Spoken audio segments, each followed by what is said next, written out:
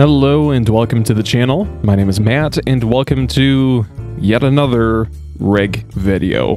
This one is, I wouldn't call it a long time coming, but this was kind of like a spur of the moment thing that I really wanted to try out. And for all intents and purposes, I'm actually quite happy with how it turned out. So as you guys saw maybe last month with my sim rig video, it was basically the GT track from Next Level Racing. As much as I enjoy it, I still do. The problem that it has is cable management. And the amount of times I wanted to move the rig out to go adjust something, whether it be the pedals or the screen or or like a new spot where the webcam would go, there's just a mess of cables everywhere. And it really started to get to me.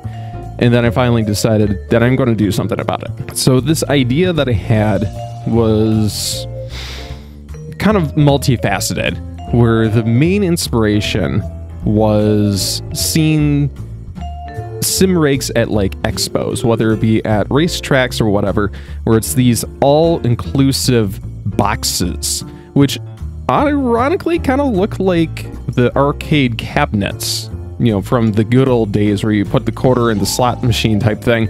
So the other big place of inspiration was seeing the Gran Turismo World Series and essentially, again, these arcade cabinets. And I'm like, okay, it's go time. I now need to make this a reality. I had so many ideas going on.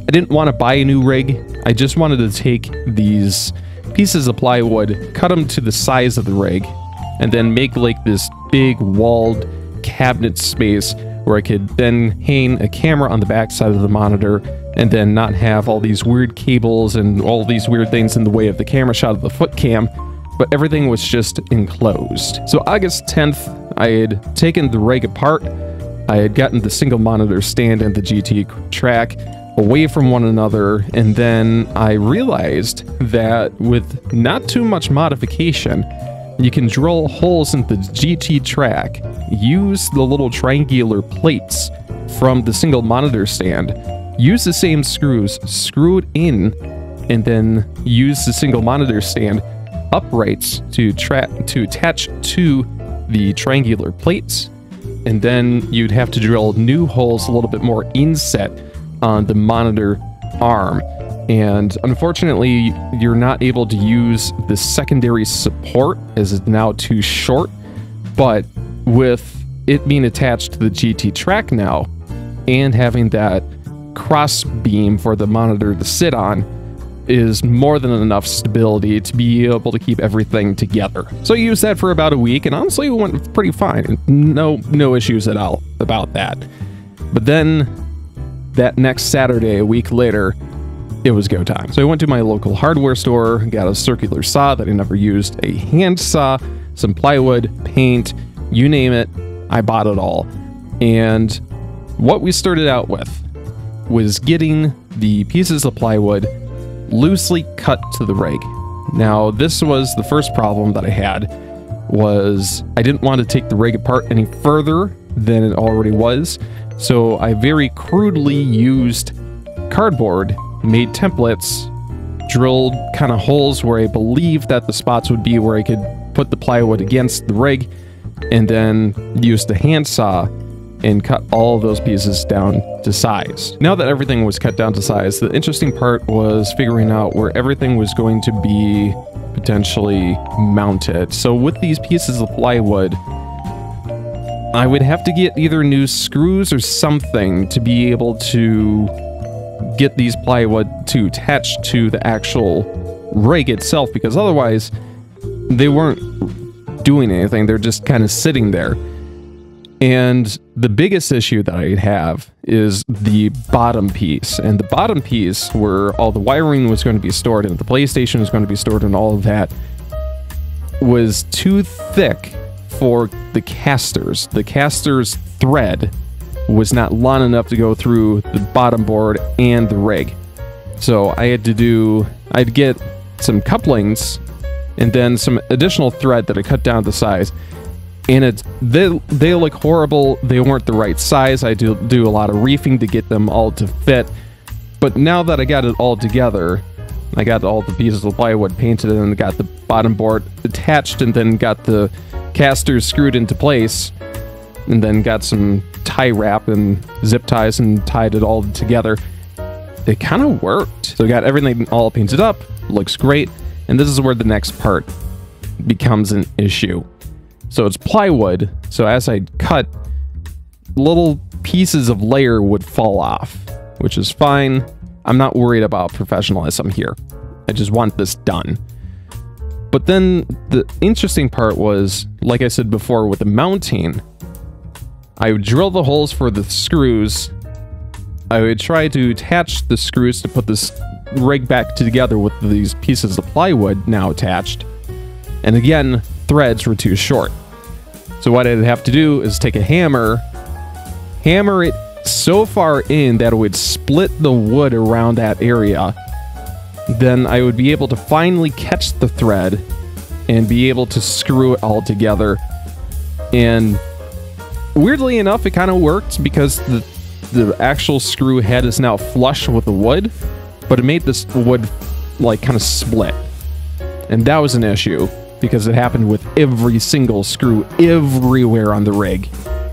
And that was annoying because I had to do that like 30 times. It was horrifying. After hours of killing my hands and my wrists getting everything put together, I then used some nails and some screws and got the remaining uprights put together, got those screwed into the side of the monitor uprights, got the little top plate down, and then finally it starts to look like a cabinet. And at this point, I'm sitting there going, this is cool.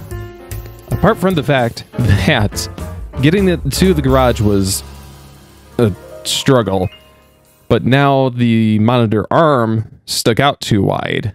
So I had to dismantle that and then put that all back together. Which, funny enough, if I do decide to upgrade to a triple monitor setup eventually, I can still do that with this little monitor arm because it's still got the little pins in the sides where you're able to attach the uh, other monitor arms. So it's it's a possibility. Whether I do that or not, we'll figure that out later. This was a lot of trial and error where I wanted, first of all, the power supply. I'd realized that the cutout holes that I made were not big enough, so I had to, in a clean room, use a saw to be able to you know, file away the ex excess to be able to get the actual power supply into it. It was gross and I had to vacuum it up. But anyway, finally got it to fit. And then on the bottom underneath the seat, that's where the power supply went. On the other side is where all my ports, where the HDMI, USB, all that fun stuff is going to be. So I got all that set up and then realized that the PlayStation, I wanted the vent to be pointed out the back, it was too wide. So unfortunately, the vent had to be pointed down the side. I'm very concerned about heating and overheating and all of that kind of fun stuff.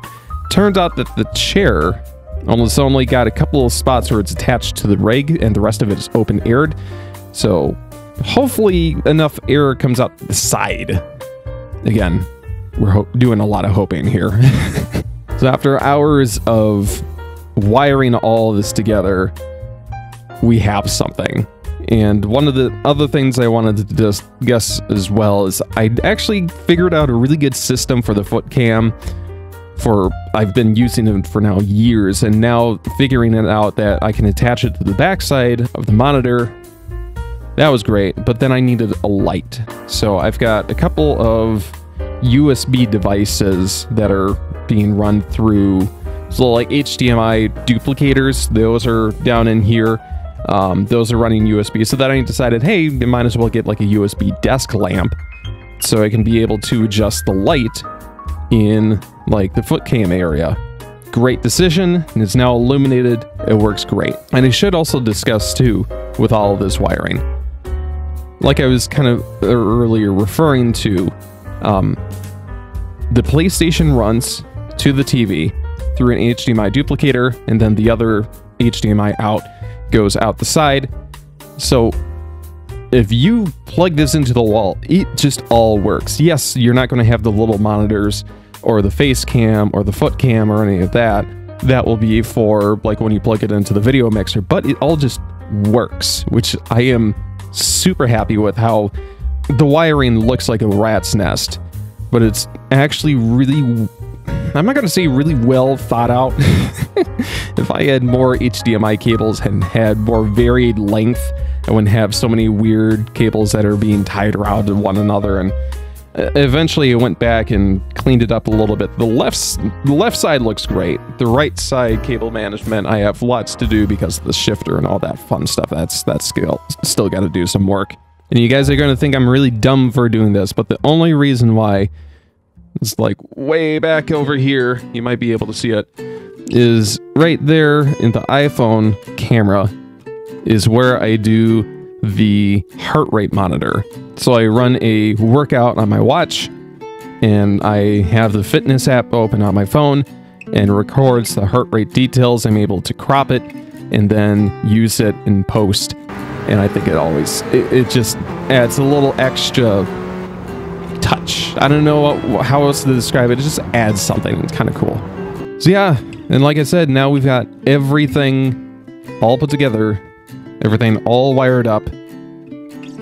And then we went to do our first Tuesday race, and the camera wasn't in the right spot. The foot cam had this weird cable issue where it was acting very intermittent, and I had to just hardwire it to the video mixer. And I was worried more about that than I was the race itself. And finally, after spending another hour after the race, now we're finally done. And it looks fantastic. It really does. So, like I said, all the HDMI cables and all that kind of fun stuff I can pull out the side. I can just move the rig back, and everything's all tied together and it's good to go. It's all portable. So, I've also loosely had this idea for a while just because not only did I see the GT World Series one day with a different rig, I would like to make four duplicate copies of this idea, where it's the PlayStation and the foot cam and all the cables coming out the side and all that kind of fun stuff, and be able to do like a four person live stream and have like a more professional setup. And that will be the day that you'll notice I won a million dollars or something. But this is a good proof of concept to see if I can kind of make this work. Again, I'll have a different rig setup at some point that I'll use as a template instead of the GT track. It was the GT track was fine. Again, the screw threads were too short to really work well with the plywood.